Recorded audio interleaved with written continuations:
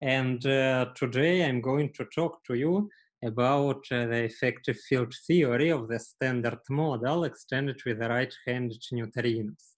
So this is a work done in collaboration primarily with Mikael Chala from the University of Granada and also with other people, namely Julien Alcaide, Shankha Banerjee, and also Jon Butterworth, Christoph Englert, and Michael Spannowsky from, the, from Durham University over the last two years.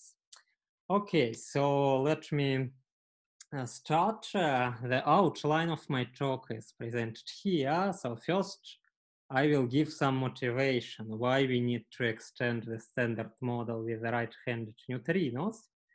And uh, as a consequence, why we should extend also the corresponding EFT with new operators.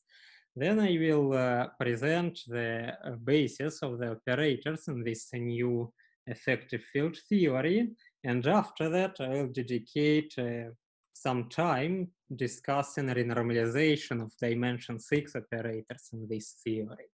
Of course, uh, at uh, the weak scale, this uh, new theory has to be matched to another EFT, so-called low energy effective field theory.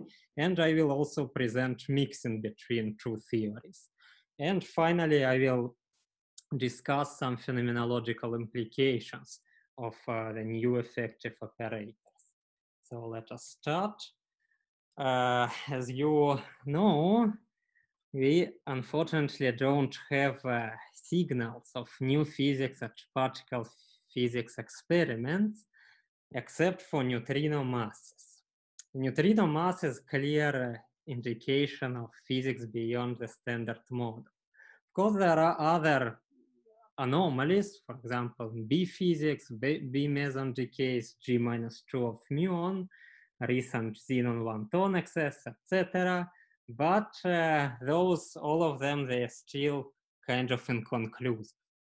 So uh, so where is new physics? The question arises. And there are several options, of course, for new physics to be present. First option that it is very weakly coupled. And if it is very weakly coupled, it also may happen that uh, we have some new degrees of freedom at energies below the weak scale, which we don't observe because they almost don't talk to the standard model. And uh, these new, new degrees of freedom, they are likely to be singlets of the standard model gauge group. So this is the first option. The second option uh, is, of course, that uh, new physics hiding at some high energy scale, let's say much larger than the weak scale. And in this case, of course, we know that the appropriate description of physics is in terms of effective field theory. And in particular, for example, if you don't have extra degrees of freedom at low energies, the right theory is the standard model effective field theory.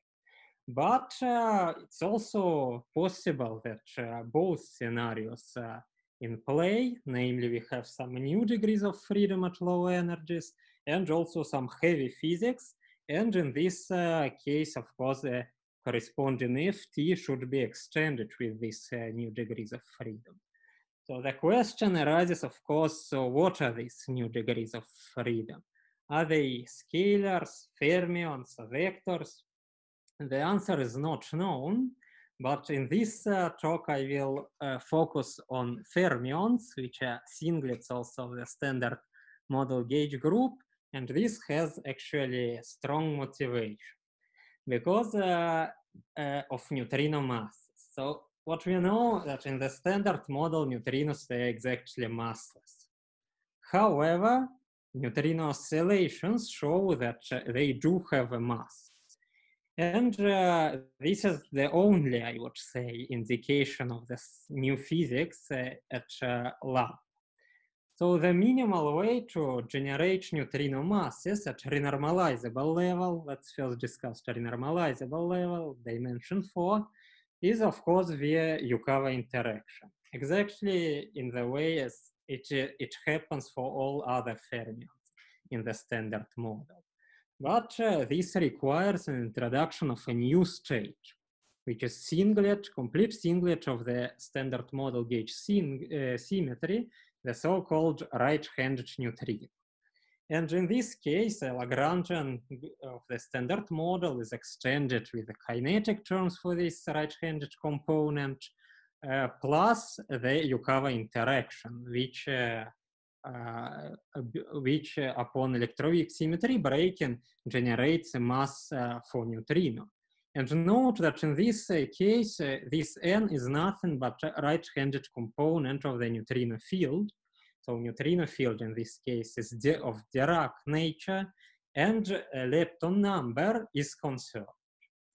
So a lepton number is a conserved symmetry, then we just have a usual expression for neutrino mass uh, and actually we don't know the absolute scale of neutrino masses, but we know roughly uh, ballpark values. And let's say that it is at sub-eV level. And in this case, the Yukawa coupling should be tight. It's 10 to the minus 14. So sometimes it's actually considered also very often that it's uh, kind of not natural in the sense that uh, uh, how comes that top Yukawa is 1, tau Yukawa is 10 to the minus 2, and uh, neutrino is 10 to the minus 14. But here I just want to uh, point uh, that indeed we already have in the standard model huge uh, hierarchy in the Yukawa couplings. So perhaps uh, living with, let's say, other eight orders of magnitude difference between electron Yukawa and neutrino Yukawa is not something outrageous. Anyway, uh, it's also very probable that lepton number is not a fundamental symmetry. And if it is not a fundamental symmetry, then the most generic Lagrangian one can write at dimension 4 contains also the so-called uh, Majorana mass term, which connects this uh, right-handed component n with its charged conjugate. So this M clearly breaks lepton numbers. So now it's not fundamental symmetry anymore.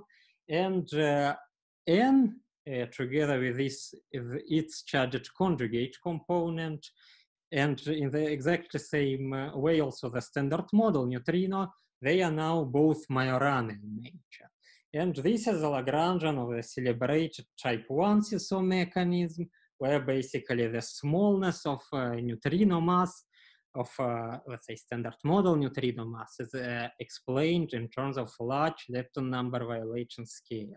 And indeed, in this case, we can have very small masses with order one Yukawa couplings, but as you can see at this plot, this requires this uh, new scale M to be at, uh, let's say, 10 to the 15 GeV, so it's GUT scale. Uh, so in this uh, case, of course, these heavy neutrinos, they decoupled from the low energy physics. However, actually nothing precludes of having this Yukawa, for example, 10 times smaller than the electron Yukawa. And in this case, N actually lives at electroweak scale. Or it's also possible that it lives at much uh, lower scale.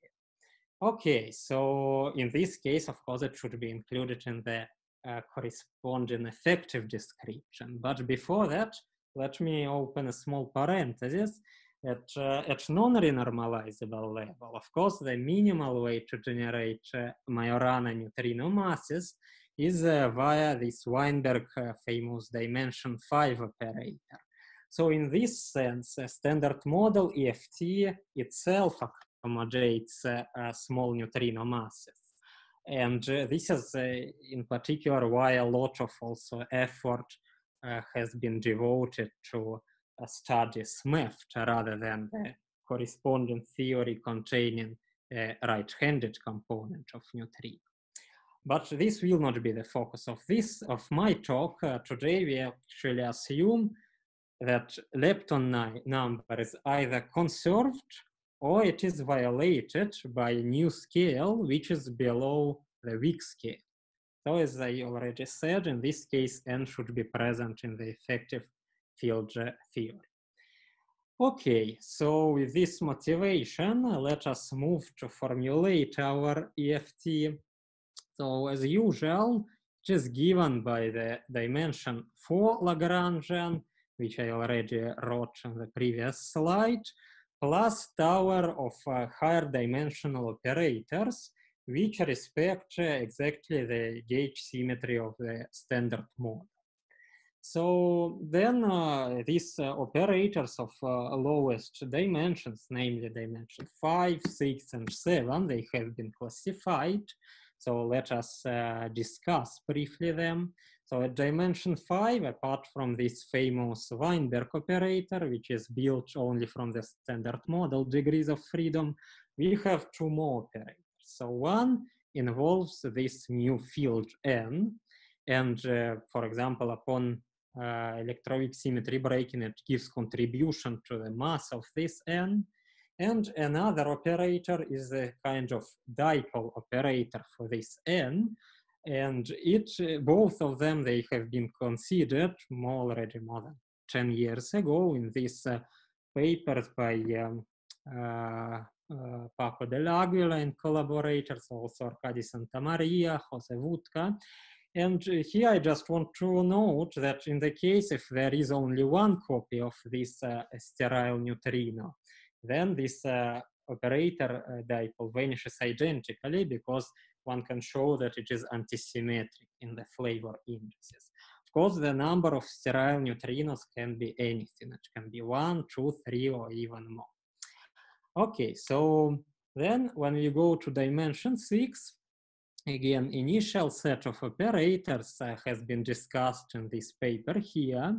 However, uh, it took something like eight years to understand that the operators discussed uh, initially, they actually don't form a basis, namely they con contain some redundant operators which can be removed uh, applying equations of motion. And only something like four years ago, the uh, full basis, com the complete set of independent operators has been constructed, and we can actually divide this operator in the uh, two parts, let's say. One is the Higgs N operator, so sometimes I will refer to them as bosonic operators since they contain bosons. And you see that they are five, not counting Hermitian conjugates and forgetting for for a bit about the flavor structure. And the second uh, category is for fermion operators, and they are actually 11, and here they classify it in the usual uh, way according to the chiralities of the field center in the operator. So those are lepton number conserving operators. And in addition, there are also three operators which violate either lepton number or both lepton and baryon number. so this uh, lepton number conserving dimension six operators will be the main focus of my talk today. Okay, just for completeness, let me mention that also now at dimension seven, we know the basis. It has been also obtained in these papers. And uh, just uh, to be, uh, to be um, concrete, all these new operators containing this uh, n field, they of course need to be added to the basis of a pure SMEFT operators, which has been derived over uh, the time in, in these papers here. So now to conclude this part till dimension seven, we know all the operators. So what, what next? What next? Next, let us discuss the hierarchy of um, scales. So first in the standard model case. So of course, uh, at some uh, high energy scale lambda, which can be, I don't know, 1, 10 or 100 TeV, uh, it is believed that there is some UV physics, UV complete model of which uh, SMEFT is effective description. But then may, may be actually many orders of magnitude be, between lambda and the weak scale. So in principle, there should be evolution with these operators to the weak scale. But when we reach the weak scale, the heavy standard model particles, namely the top, Higgs, W and Z gauge bosons, they have to be integrated out. And so we end up with a new EFT, so-called low energy effective field theory. And uh, there has been, of course, a huge progress in understanding the evolution with energy of the Wilson coefficients, in particular in the SMEFT, uh, renormalization of dimension six operators is complete since already seven years with uh, seminal papers Manohar, Trott, and Jenkins, and Alonso. Uh, then also the matching of SMEFT onto LEFT at tree level and moreover at one loop level is also known. And finally, also since three years or so, renormalization of dimension six operators in the low energy effective field theory is also known. Okay, but what happens if we add uh, now this uh, right-handed degree of freedom, the right-handed neutrino? Actually, there has been kind of uh, significant uh, progress, I would say, in the last two years. Namely, uh, renormalization of dimension six operators has been computed at one loop uh, under some approximations. Namely, we with Mikael computed the running of these Higgs n operators, the first category, including gauge, lambda, and Yukawa dependence. Very recently, a group uh, with Danny Marfatia et al., they computed actually all 16 operators, but taking into account only gauge dependence. Moreover, also matching between SMEFT uh, with the right-handed neutrino and the corresponding low energy effective field theory is also known at tree level. And there exist some partial results for renormalization of dimension six operators in low energy effective field theory. So in this talk, I'm going to uh, dedicate some time discussing this uh, renormalization of dimension six operators and also the match, and then provide some phenomenological applications.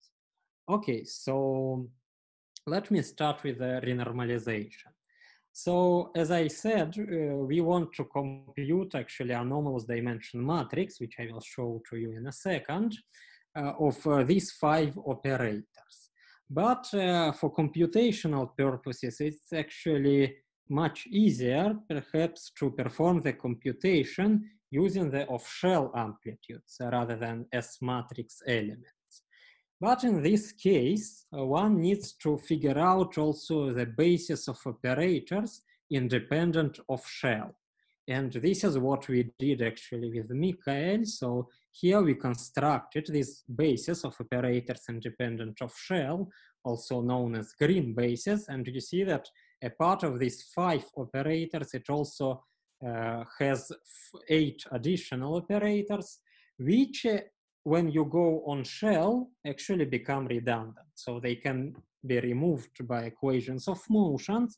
And uh, here I just write uh, the explicit equations we also will use in our computations. So this basis is known. Okay, very good. Then uh, uh, we, I think we are ready to start computing the anomalous dimension matrix. So in the full theory, we have this uh, 59 uh, times 59 block, forgetting about the flavor structure of SMEFT, then uh, for simplicity here, we will assume that uh, neutrino Yukawa coupling is zero. So in this case, there is no mixing between the operators containing n and pure SMEFT operator. So you see that this gamma has block diagonal structure and our aim is to compute this five by five block. And already without doing any computation, we can anticipate its structure. So for example, in this block, there are some zeros, and those actually are, uh, they follow, if you want, from non-renormalization theorems. So maybe not very precise statement would be that these tree-level generated operators, they cannot renormalize loop-level generated operators. Uh, is often the case.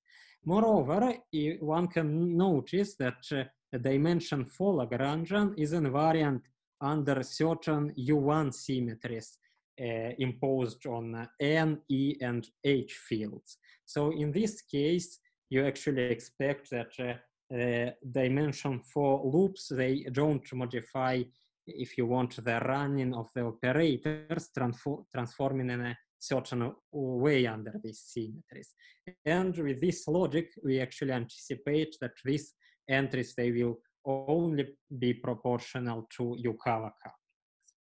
Okay, so let me give you some more technicalities of this computation. So we work in the background field method. So in this way, actually all our counter terms, they are gauge invariant manifestly.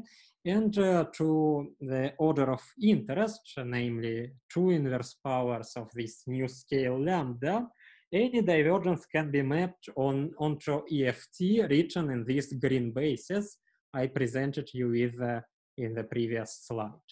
So it is enough to uh, deal with uh, off-shell 1 pi amplitudes only and uh, st standardly we use a dimensional regularization and we perform the computation in a semi-automatic way using this chain of packages uh, FeynRules, fine arts, and FormCalc, but also we performed some uh, semi-manual checks using FeynRules and QGraph for generating the diagrams. So let me give you just explicit example. So one of the amplitudes ne needed to be computed is this nn going to b. So you see that we can compute this loop. It is proportional, it actually goes uh, via this OHN operator. And then we compute also this in the EFT region in the green basis. You see that these two Lorentz structures underlined here, they're exactly the same. So in this, I would say, standard way, we match all the tilde coefficients on non-tilde one. But there are actually much more amplitudes, well, not much more, six more amplitudes much more diagrams to be computed to fix all these uh, tilde coefficients. And upon fixing of them, we actually fix the structure of the divergent Lagrangian. Then we proceed in the usual way, and uh, basically the anomalous dimension matrix is given by the divergences up to the wave function renormalization factors. So the final result of this computation is a full 5 by 5 uh, block of these uh, Higgs neutrino operators in the SMEF. So as we anticipated, here we have some zeros. There are some more zeros which are not so straightforward to, straightforward sorry, to explain. And uh, these uh, uh, entries, they also, as anticipated, proportional to Yukawas. So, and also you see that here I underlined in blue there are some enhancements of uh, certain elements with respect to naive di dimension full analysis. Okay, so just um, for completeness, let me stress that the gauge dependence of certain actually of these three operators of dipole operators and LNH operator has already been uh, computed a long time ago and we agree with this result uh, modulo some factor of two, we are still disentangling. Okay, so let me now give you some applications of this uh, result. So the first uh, observation is rather interesting and it already has been pointed out in this uh, reference by Bell et al. But let me put it in a bit different uh, way. So we know that uh, the neutrino, due to this ONA operator, can have a dipole moment. And uh, in June, there was this um, excess, experimental low energy excess of electrons observed in XENON1T experiment. And one of the hypotheses was the explanation due to uh, a large neutrino magnetic moment. So what it means large, it means something like order of two times 10 to the minus 11 in the units of Bohr magneton. Uh, you see that actually this large uh, value of magnetic moment for neutrinos is in conflict with uh, indirect constraints from uh, astrophysics, but let us uh, for the moment assume that this uh, moment can be large as constrained by laboratory experiments. So with this assumption, you can derive the, actually the value of the relevant Wilson coefficient at, let's say, we consider two reference scales, 1 TeV and 100 TeV. And then uh, let us assume that uh, this dipole is generated at 1 TeV or 100 TeV, and then this uh, NA coefficient ha has this value. So then if you assume that this is the only operator generated at this high scale, and this can be understood from here, the dipole renormalizes LNH operator.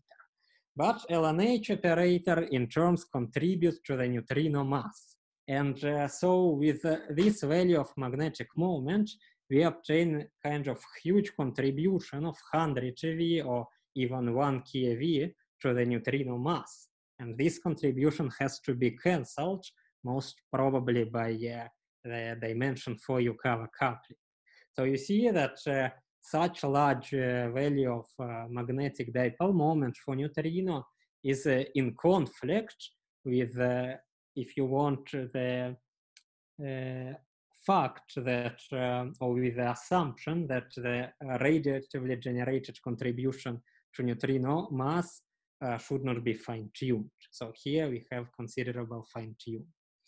Okay, another application is somewhat similar. So you can see from the structure of anomalous dimension matrix that H and E operator also renormalizes LNH, and thus it will also give contribution to the neutrino mass.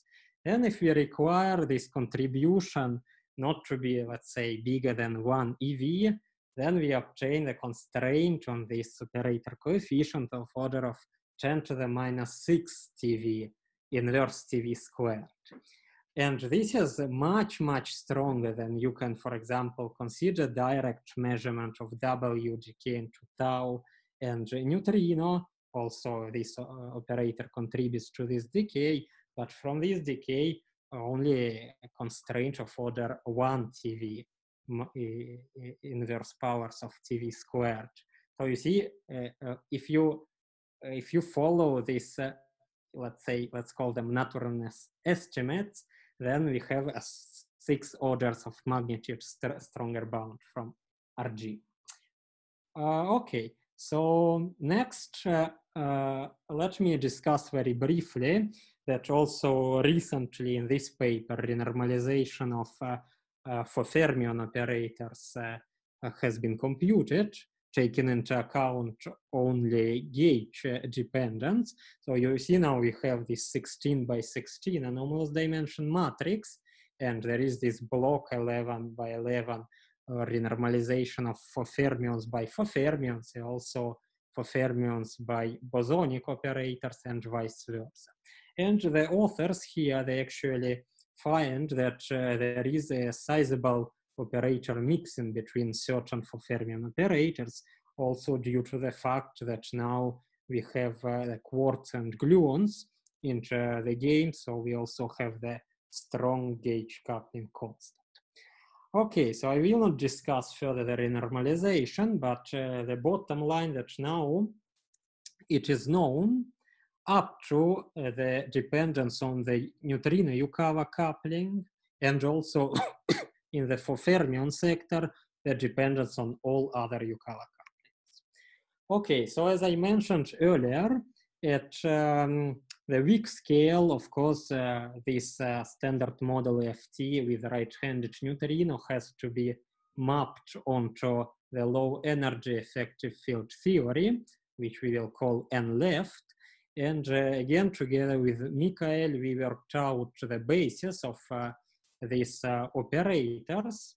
So the notations here follow very closely the notations of uh, paper by uh, Manohar and Stoffer on low energy effective field theory without right-handed neutrino. Do you see that in dimension five, we have one operator is the dipole operator, and then a bunch of fermion operators. In particular, there are uh, neutrino interactions of scalar and tensor type. And those, they are very relevant uh, for what is called non-standard neutrino interactions.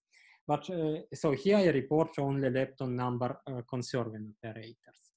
And uh, we also performed this matching. So here I just uh, highlight the result at tree level.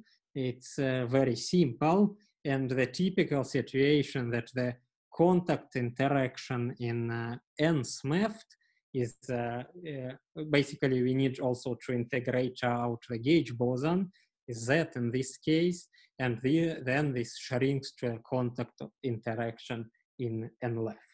So the matching now is also uh, known, uh, again, up to Yukawa couplings. This should be included. And um, of course, there are also lepton number violation operators. We, we also figured out the basis. I will not discuss here the, the phenomenology or them in, in details, but I refer you also to this uh, paper by uh, Michael Schmidt and collabora collaborators, where they also actually figured out the matching of these lepton number violation operators onto the corresponding operators in the high energy effective field theory. Okay, so now let me go in the remaining time to phenomenology. So um, the questions we want to address here that um, uh, which of the new operators containing these right-handed neutrinos are constrained and with which observables, and also if there are unconstrained directions and how those unconstrained directions can be probed and uh, to which potentially new signals they lead.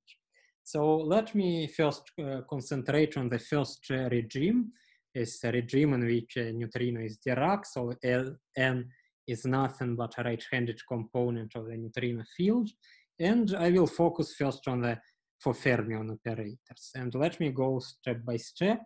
So these four operators involving uh, down, up quarks, and in E, they contribute to both to both processes. For example, at high energies, they contribute to the production of a lepton, charged lepton, in association with emission energy, but also at low energies, they contribute to the pion decay, to, to neutrino and, uh, and charged lepton.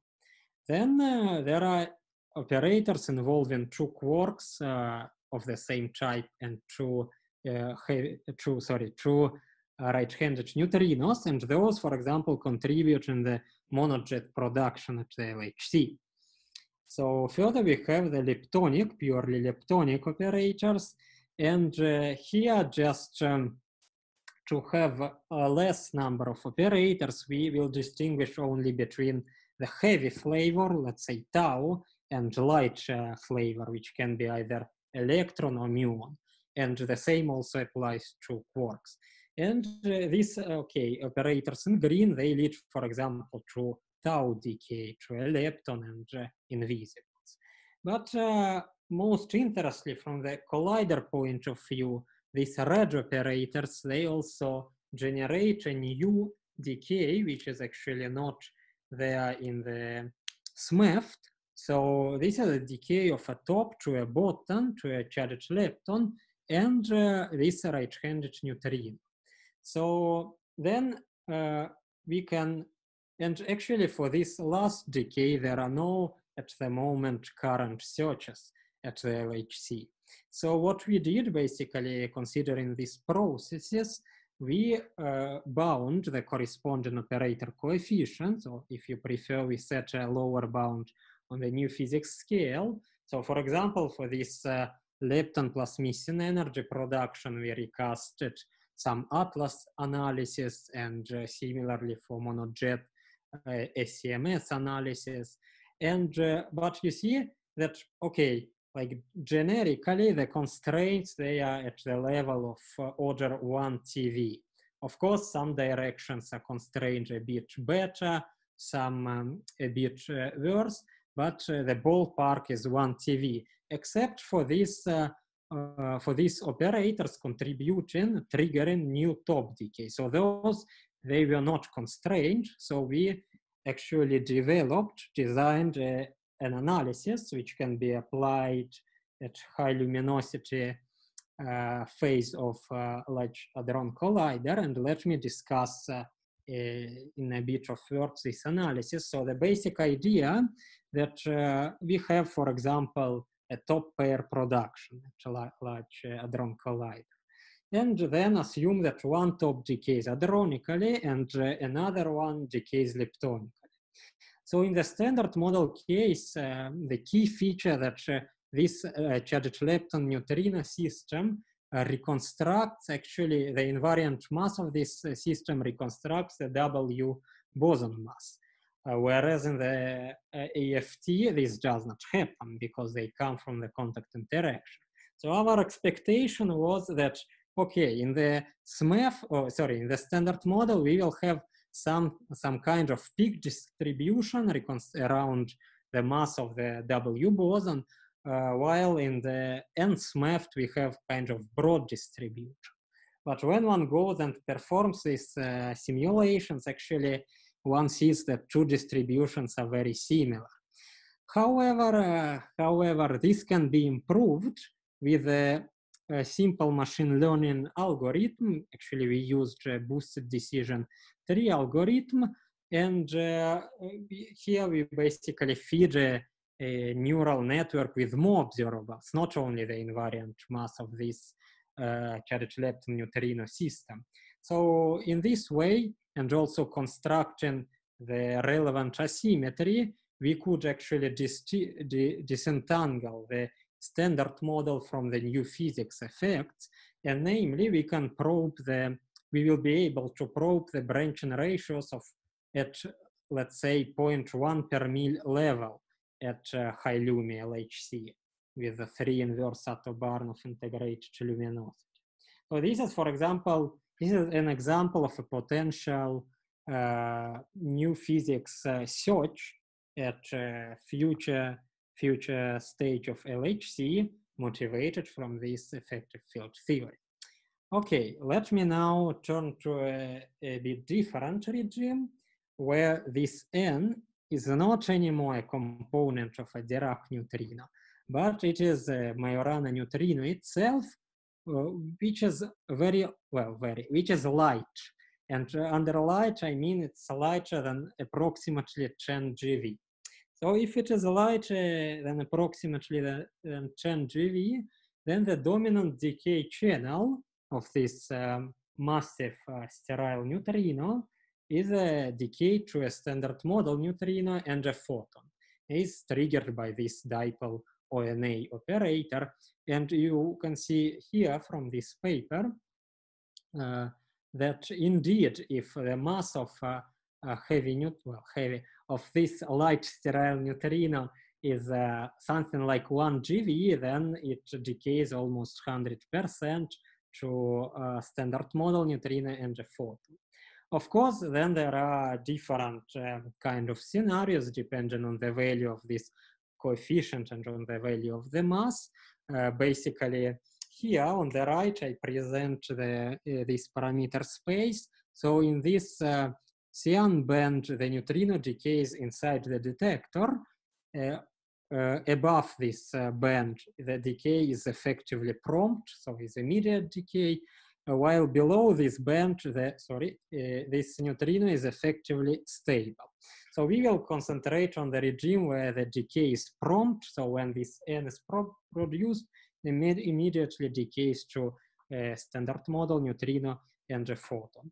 And we will uh, concentrate on the regime where we have only Higgs neutrino operators. Actually, this regime can be realized in a UV model uh, where we don't have a, a, generation of fermions at tree level. I will, I will not have time to discuss this model, but it is in my backup slides. And for the full analysis involving also four fermions, uh, I refer you to this nice paper by Mikael Janke and uh, Michael. So okay, let's let us now concentrate on these uh, uh, Higgs neutrino operators and go one by one, as we did also for fermions in the previous example. So the first uh, the first operator will give uh, rise to the decay of the Higgs to two ends. Okay. And the dipoles, they uh, give uh, rise to a number of processes of course, this uh, decay of interest uh, to us of this n to nu and gamma, then also uh, it tri they trigger the z decay to two neutrinos, one left-handed, another right-handed, and finally also the Higgs decay. to two neutrinos and a gamma. Remember that this neutrino will decay immediately to the standard model one and to gamma in turn. Okay, then these uh, green operators, they induce W, they modify if you want W decay. Um, the OHN uh, is uh, relevant for Z decay to two neutrinos. And finally, LNH also induces a decay to left-handed and right-handed neutrino. So then from LEP, we know that actually the branching ratio of uh, Z to two neutrinos and to either one or two gammas is rather strong constraint.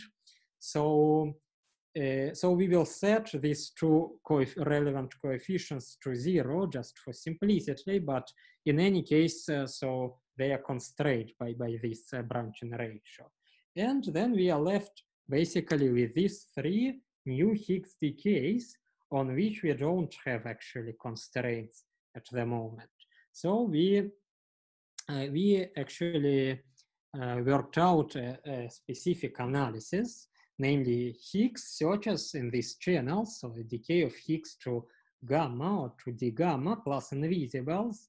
So here the situation is somewhat similar to the discovery of the Higgs boson itself in the, the d gamma channel. So we don't actually know very well the background, but uh, we can uh, constrain it or we can control it in the side bands and perform the so-called shape analysis.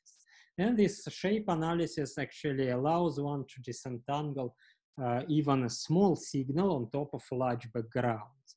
And if uh, actually with these uh, colleagues here, we worked out this analysis and uh, found that uh, actually these future Higgs searches at high Lumi LHC will be able to probe the branching ratios at even, let's say, sub per mil level for the decay of Higgs to the gamma and missing energy.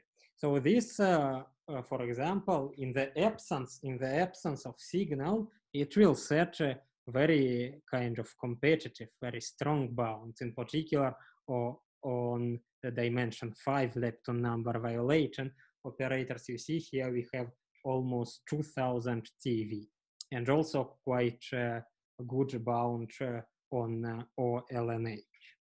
Okay, so this is another example of uh, new searches uh, to be performed at a future phase of uh, Large Hadron Collider.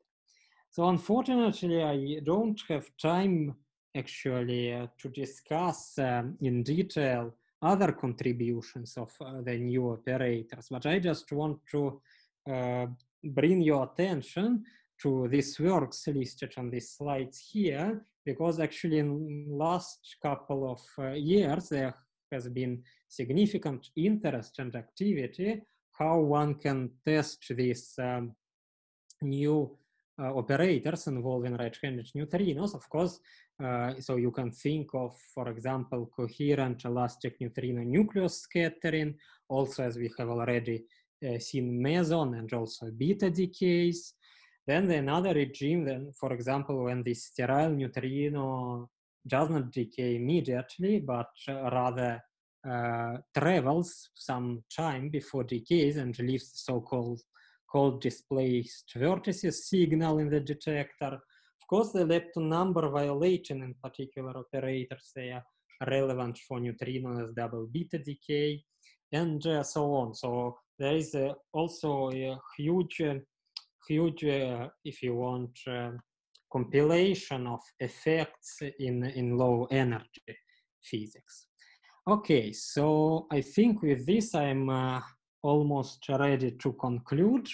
So I think I uh, convinced you that if uh, massive neutrinos turn out to be Dirac particles, and this is purely kind of allowed option, and I think it's not discarded, it should not be discarded by any means. Or if uh, there exist light sterile Majorana neutrinos, then uh, the standard model has to be extended with the right-handed component of a neutrino field or with the new right-handed neutrino. Moreover, in addition, if we think and we do hope that new physics exists also at some high energy scale, above electroweak uh, symmetry breaking scale, then effective field theory provides the right uh, tool to describe physics. And in this case, the standard model EFT should be extended to NSMEFT, which I discussed in some detail in this talk, and the corresponding low energy effective field theory should also be extended. Then, uh, as uh, we have seen, renormalization of dimension six operators in, in SMEFT is uh, known modulo some, some dependencies, which I will discuss in the next slide. And uh, we also uh, discussed a bit the matching between two theories. So two theories also, it's uh, the correspondence is known. Finally, I provided you with, with two examples of new rare uh, decays of the top quark and the Higgs quark, which can be efficiently probed at the future high luminosity stage of, uh, of uh, Large Hadron Collider.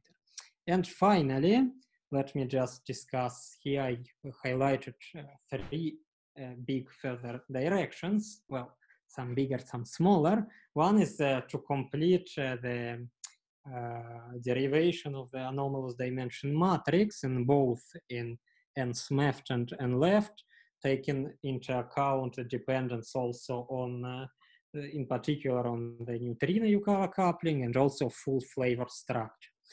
Uh, then also to perform the matching of NSMEFT onto NLEFT at one loop, as it has been recently done uh, for the standard model EFT case. And finally, more phenomenological studies uh, of both theories and different regimes, both at colliders and in low energy experiments, uh, are needed uh, to come kind of with a full picture of this uh, very interesting, in my opinion, EFT. Okay, thank you very much for your attention.